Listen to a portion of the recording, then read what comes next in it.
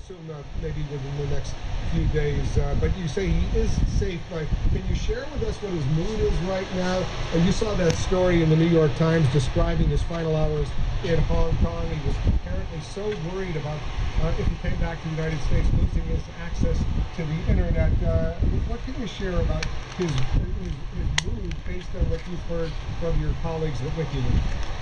Well, what I hear is that uh, he is in a very good spirit and uh, he knows that he the right thing and he is, uh, is a man and uh, what I, has described as patriot. Uh, he is worried, uh, I hear about uh, the narrative actually not being on the real issues here at hand, uh, mainly what he has been disclosing, the important information that is now out there in the public about this Dracula surveillance. And following the media today, I'm not surprised because it's very much about this uh, cat and mouse game instead of focusing on the, the revelations. And uh, that's where the focus should be. You heard the Secretary of State tell our